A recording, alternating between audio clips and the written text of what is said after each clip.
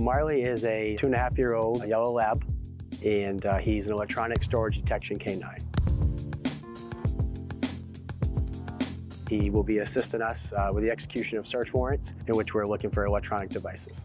We concentrate on cases uh, involving the exploitation of children uh, and CSAM cases for cases that contain child sexual abusive material. However, looking for electronics, he can also assist Maine State Police Major Crimes Unit as well um, if they have a, a crime uh, involving a cell phone that is either lost or, or, or, hidden or thrown away or thrown out. So any case really that, that there's an electronic component uh, that they're looking for, can't find, or maybe hidden, uh, as long as that electronic component is capable of storing data, uh, he, will, he will alert to that and indicate where that device is.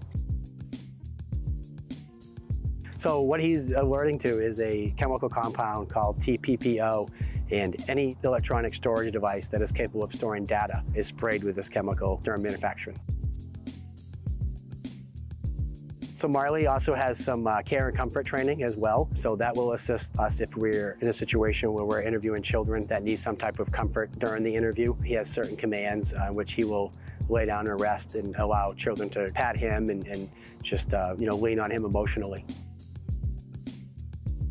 Marley is going to assist the unit in a capacity that, that no human could. Marley is going to be able to alert to and detect devices that are, that are hidden in residences or thrown out of a vehicle going down the road. And it's going to save our, our evidence collection uh, teams a lot of time um, in doing so. Uh, he, he can alert to devices that that can't be seen, that are hidden behind um, uh, walls or, or, or underwater. Uh, he can alert to devices that are uh, several feet underwater as well. So it, it's, it's going to save us a lot of time and uh, it's going to provide us with a better result at the end of the day uh, when we can have that, that physical evidence and start working on that.